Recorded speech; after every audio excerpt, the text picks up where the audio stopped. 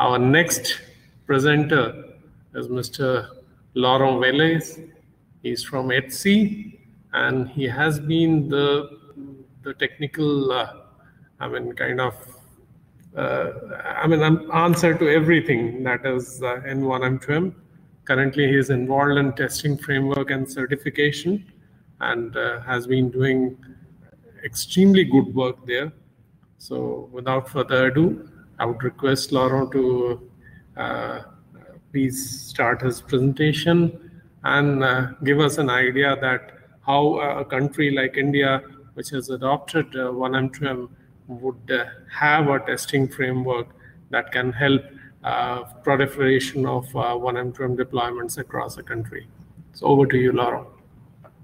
Thank you, Rindam. Thank you for this kind of presentation. Um, yeah, can, can, I share my screen? Uh, can you give me the presenter rights, please? Uh, sir, given you.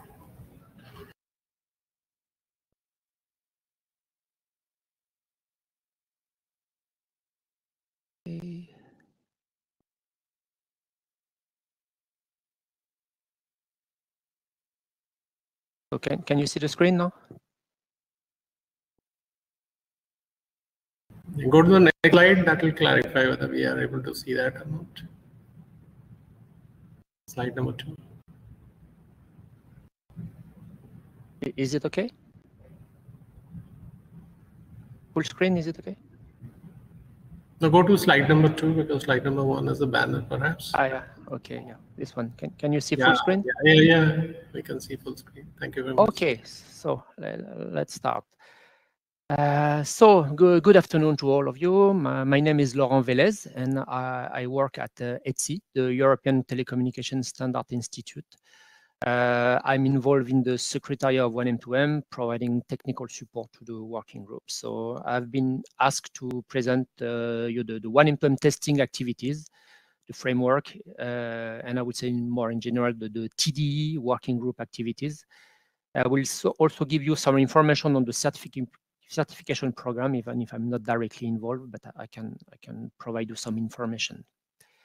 So uh, you, saw these slides uh, already several times uh, during this workshop, but uh, I will just uh, talk to you about the TDE working group, which is the bottom right, the, the testing and developer ecosystem. Uh, one of these tasks is the validation of the testing. So what do we mean by validation and testing? Uh, indeed, these two steps uh, come together with the standard specification work. Uh, the, all the, the, the, the, standardization body uh, could have these two steps. It's about making sure the standard do the right things and they do it right. They do it the right way. So the, do the right thing is verified by what we call the validation or interoperability testing. And how to do it right is made possible by the conformance testing. So I, I, will try to explain the difference between these two steps and how important are the conformance and the interoperability testing in oneM2M. So usually these two testing activities are, are, are used by the industry in their development uh, processes. Uh, it could be used by third-party certification. I would say in a minute uh, about this program. Uh, but what is important is the scope, the development, and the review is done by oneM2M working group TDE. So that means we keep, in oneM2M, we keep the control of the test specification of our standard. It's a way for us to ensure the quality of the testing. And it's very important uh, activity for us. Uh, so first, let's say a bit an important part of our work, which is the conformance testing. So uh, the conformance testing is the let's say we call call it black box black box testing. It's uh, the testing is done by stimulation and response. So it, it really concentrates on the specific component in the system, uh, often related to one single uh, single standard or a set of standard. But it's really we keep what we we test one component in the system.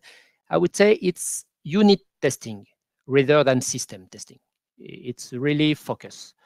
Uh, it's applied over over over uh, open interface, accessible interface, and um, we check the conformance to the requirement which is in the, the, the base standard. the normative part. So they are executed in a control uh, way using a test system, and uh, it's very accurate. As I said, its focus is very accurate. The scope is a bit limited because you can have a very high confidence on the key component of the device, and, and if the key component are correctly implemented, it may be less relevant for a large system because there are several components. But um, let's say it's, it's an important part. Uh, the interoperability testing, the second part, uh, it's concentrate on the system. It's system testing rather than unit testing, the opposite of the conformance.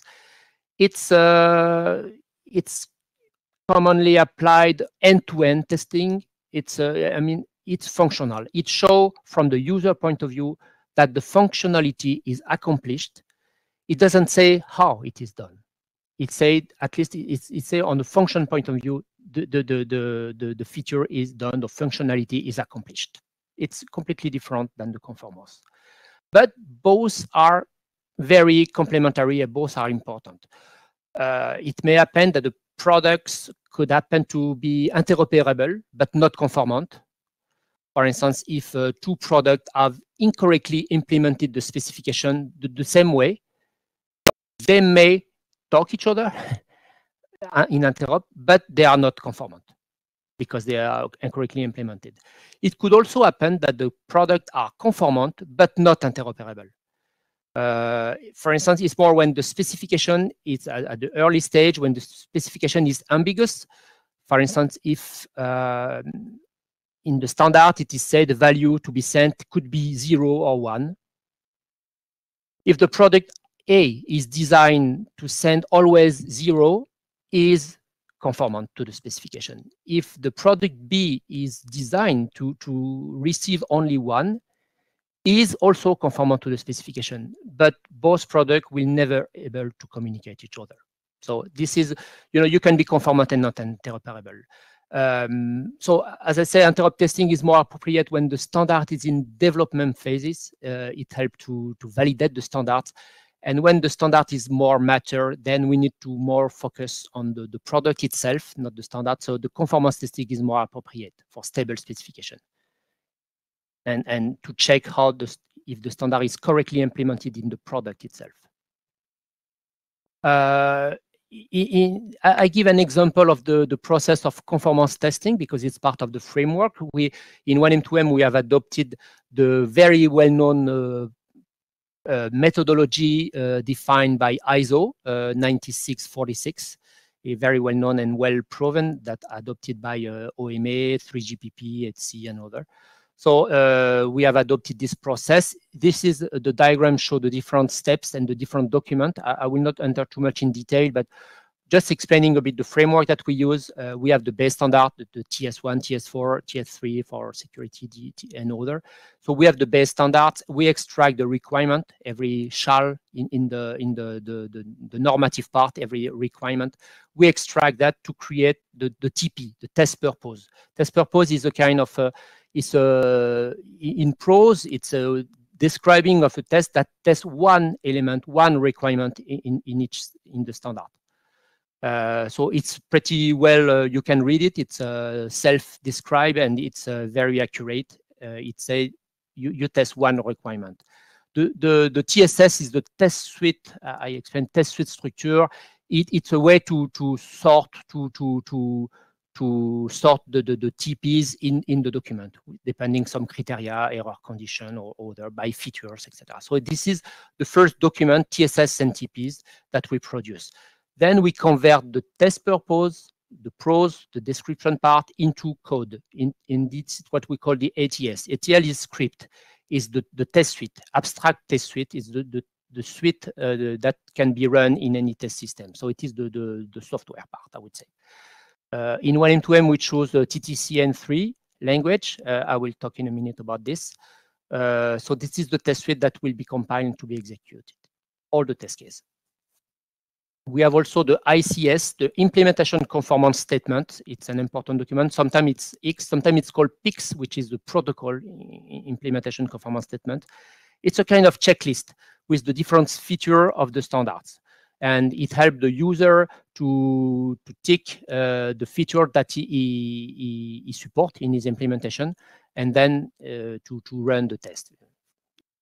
If a CSE doesn't support semantics, it doesn't make sense to run the testing about semantics. So it's just a, a checkbox, but it's also an important document that we provide to to uh, for uh, running the test. And we have also the IXIT here, which is uh, the implementation extra information for testing. It's some uh, uh, other additional parameter that is uh, important for the test system, like a timer, like the IP address of the implementation under test, this kind of stuff. And all this, uh, when the software is compiled, it creates the, the ETS and uh, the executable test suite that combined with the test system is doing the, the testing, the conformance testing on the IoT implementation under test few words about the TTCN3. I mentioned that we, we choose the TTCN3, uh, so it's important to have a standardized language. Uh, we choose this one because it's a very, uh, it's an international recognized standard. Uh, it has been applied in uh, many organizations. 3GPP is using for the, the 4G and 5G uh, conformance on user equipment, OMA, ITS, Intelligent Transport System is using it. So it's very well known.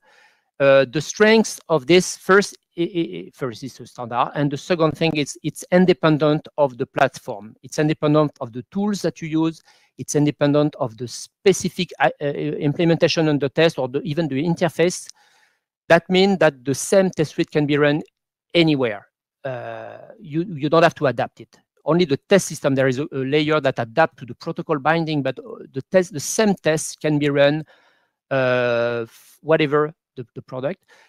For instance, if you have a product that implement oneM2M and it goes to Wi-Fi, it goes to any other protocol, to Ethernet, even to uh, CoAP, or it doesn't matter because what we test is the standard, and the standard in this case is oneM2M. So we test it's the same test can be run if you use CoAP, HTTP, WebSocket, uh, Wi-Fi, uh, Bluetooth, whatever at least what we test is the standard that we it's oneM2M. So it's independent of the, the, the, the implementation or the protocol, etc. That means it's very important for certification. It's important that we have the same test suite can be run in any test tool in any uh, underlying protocol because for certification, it's uh, it's important that the same test is run everywhere. Um, as I said, it's uh, very well known. So we we tested this one.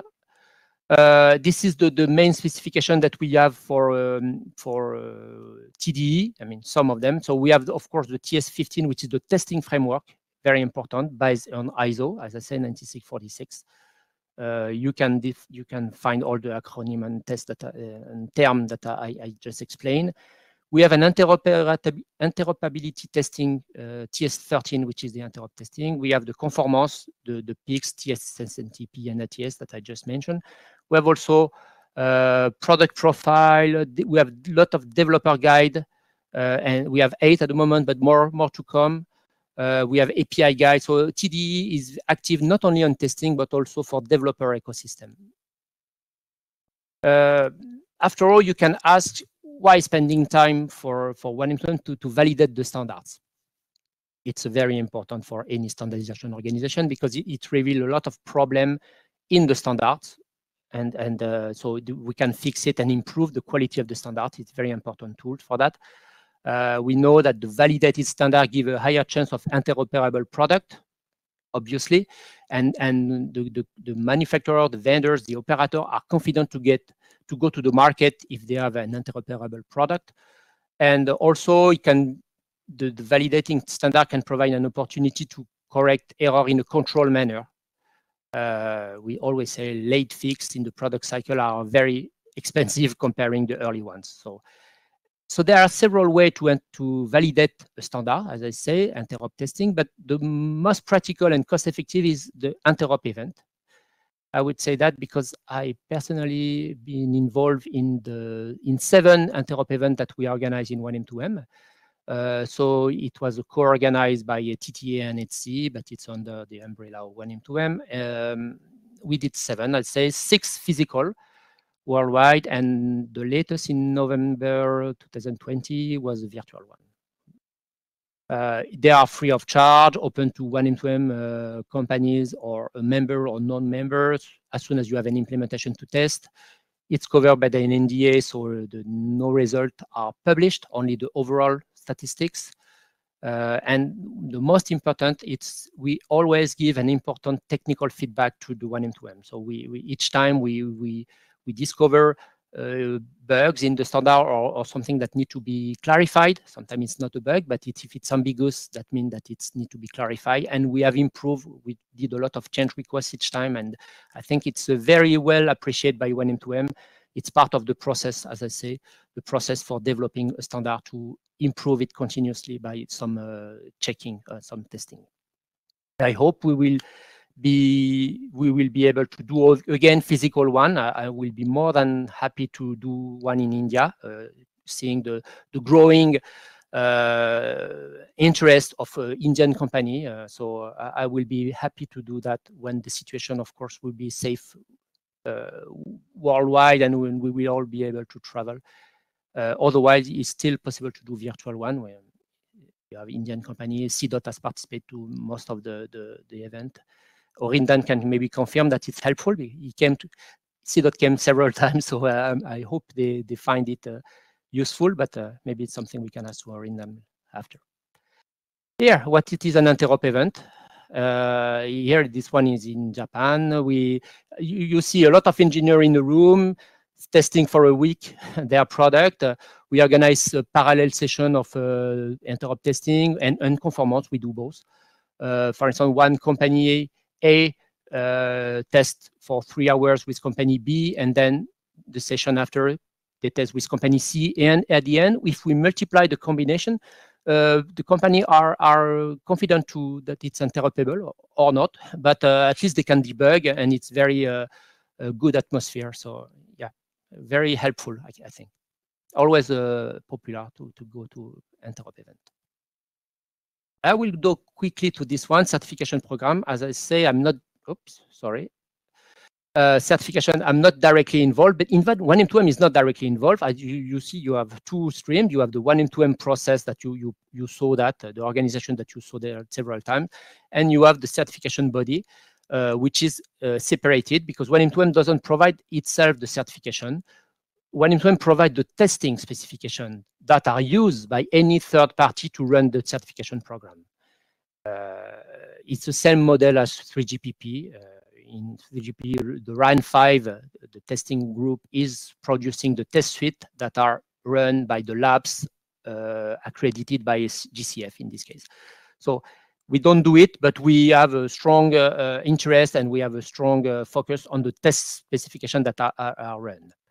Um, some background history, oneM2M has been founded uh, in 2012, but in 2015 we released the, the, the, release one was published, and there was an urgent and strong need of certification from the Korean market. Uh, oneM2M has been adopted by the Korea national uh, as a national standard. There were the three main operators launched Uh, commercial uh, product, commercial uh, deployment of oneM2M. Big city uh, We're also launching smart city program. So uh, it was an urgent need, and TTA, one of the founder of oneM2M, became the first certification body to answer to this urgent need. Uh, so they certify product with a certification program, and then they they when when we need when it was a need to go to become global, TTA transferred its certification program to GCF, uh, but while keeping a, um, a regional uh, role in GCF for, for, Korea. So if you don't know, GCF is a non-for-profit membership-driven organization uh, that promote mobile and IoT device certification program uh, globally. Uh, more than 300 uh, member company. I, I, put some link. You can have the, the one and the one for oneM2M in uh, 2019 that they launched the Release 1 certification program uh, uh following the one of TTA. The Release 2 is, is, is, is, supposed to, is underway. It's targeted for mid 2020, so 2021. We are now mid. I'm sure it is, uh, I, I, don't know, to be honest, if it's launched already or if it's uh, with the COVID, it's a bit uh, tricky at the moment, but it's it's very soon that will be done. And the working, the Release 3 work items are created in oneM2M uh, and in in uh, in the GCF. So that will be also underway. I think really three and four are created in GCF also. So, uh, the program is open to GCF member and non-member. Uh, they have two kind of certification. They have the, the part of the device certification with all the, the different protocol, different standards, and they have also as a standalone certification. Uh, as, as I said, we are not involved, but at least we provide all the specifications. So as you see, it's not only conformance like in uh, 3GPP uh, user equipment, it's also interop. So we provide the TS13 and the, the pack of uh, conformance uh, testing. Uh, so we provide that.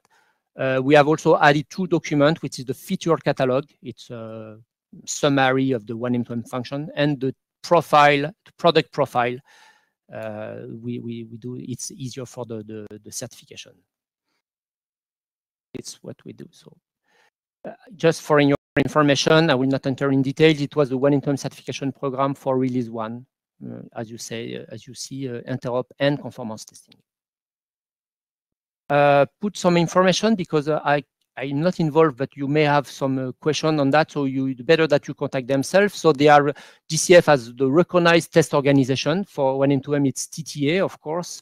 For Korea, they have also DEKRA, which is a Spanish uh, company, but the, the one that are involved, it's uh, in oneM2M, it's the, the Japanese. So DEKRA in Japan. This is for interop. Um, you, you see uh, TS13.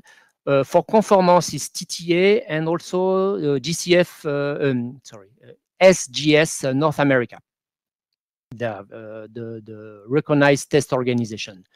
But as I say, uh, TTA has still uh, an important role in GCF. So they are what they call the third-party assessment capable entity, ACE, which has a, a, role. It's the kind of key contact point uh, to, to be able to determine the range of uh, the tests required for certification and also to assess the result. So they have an important role in GCF.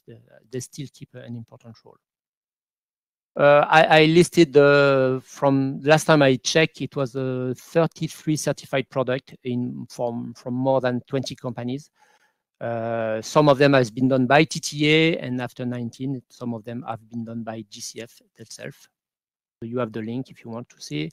Important is the contact names.